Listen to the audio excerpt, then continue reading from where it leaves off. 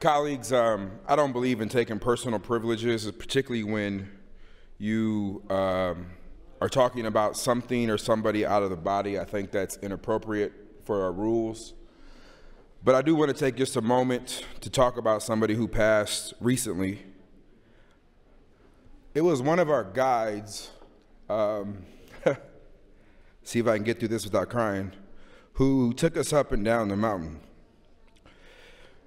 Makeke, uh, by the third day, was kind of assigned to me by Kambe, and that was the day I hurt my knee.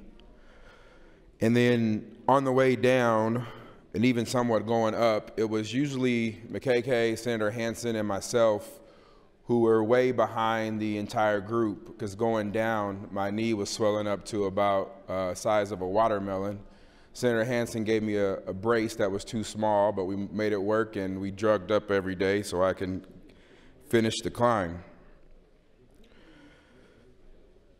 I don't talk about Africa because it fundamentally changed my life. And like my own wife and people, we, we went through some uh, videos, but I don't really get into the emotional aspect of it because it was, it was a little different for me as it is for everybody else. But at one point when we were going up the mountain, um, without me asking, he would lighten my load all the time and make sure it was lighter so I can make it up the mountain. I, I joked at the end of it, was he assigned to me because I was the only black American on the trip and I had at least be the one who would like get to the top. Uh, we didn't want everybody else to get there and he just would laugh. But on the way down, he stayed with us. One night, Ben and I got in super late. It was dark. When I say super late, it was dark and he stayed with us the whole way, him and Emmanuel the whole way, because um, my knee was just so bad. For those who don't know, I'm getting shots, and next week they're going to determine whether I get surgery on my knee. But I wanted to take this moment to mention him because he died on the mountain, January 11th. Doing what he does and doing what he loves, but over there, there is no workers' comp, there is no fund and he left behind three kids and a wife. And I wanted to make sure that if his kids ever Googled his name, that they know that he had worldwide impact beyond Tanzania.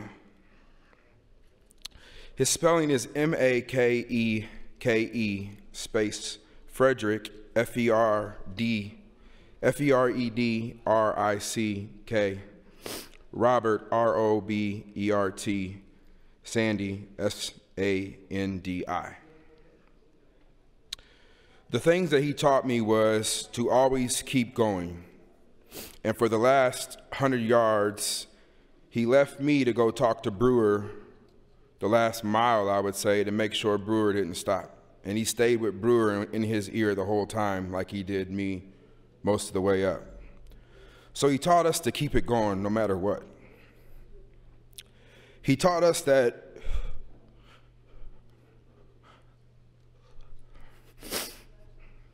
if you can lighten the load for somebody else, do it.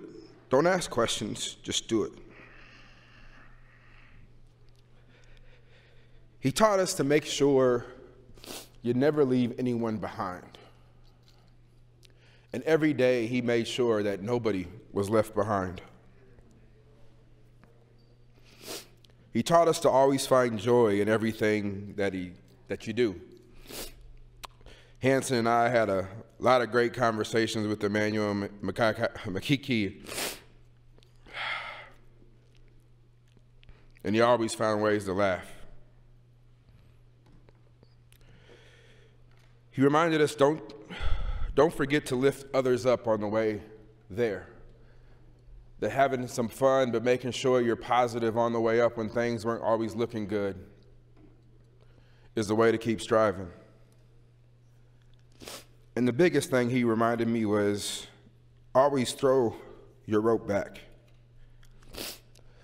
That nobody pulls himself up by their own bootstraps. But when you get up, make sure you throw the rope back.